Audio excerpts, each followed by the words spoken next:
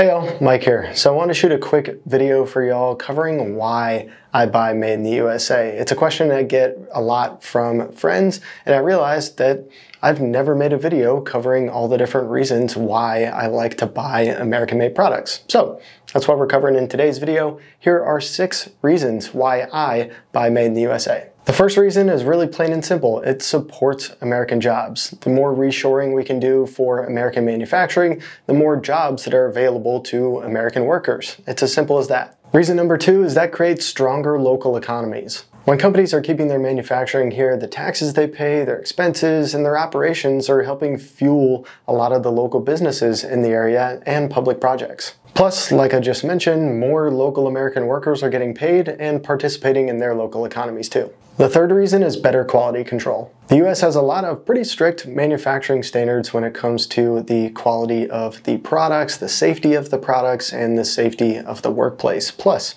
if all operations are conducted locally, that gives the company more opportunity for oversight on the entire manufacturing process. And while that doesn't necessarily guarantee quality, it does, like I said, open up more opportunities for quality control because everything's a lot closer together. The fourth reason is it's typically more environmentally sustainable. Keeping manufacturing local cuts down on transportation costs as well as carbon footprints. Things like ocean container ships and in general overseas transportation are some of the biggest emitters of greenhouse gases. So the closer that you can keep your entire supply chain, typically that's going to be better for our planet. The fifth reason is typically a better customer experience. In my opinion, having your operations close to home and a local support team generally results in a better customer experience.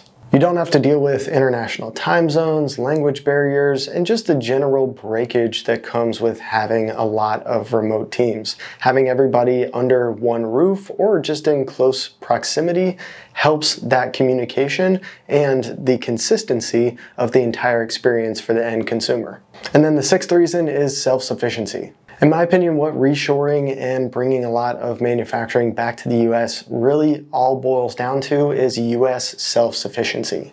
Being in a ton of debt and relying on other countries for essential goods and services, in my opinion, is a bit of a recipe for disaster, especially when it comes to emergency or crisis situations. Certainly being part of our global economy is important, but at the end of the day, having more control over our own destiny and a lot of our manufacturing is a good thing in my opinion. So those are my six reasons for buying made in the USA. What are yours? Let me know in the comments below. See y'all next time.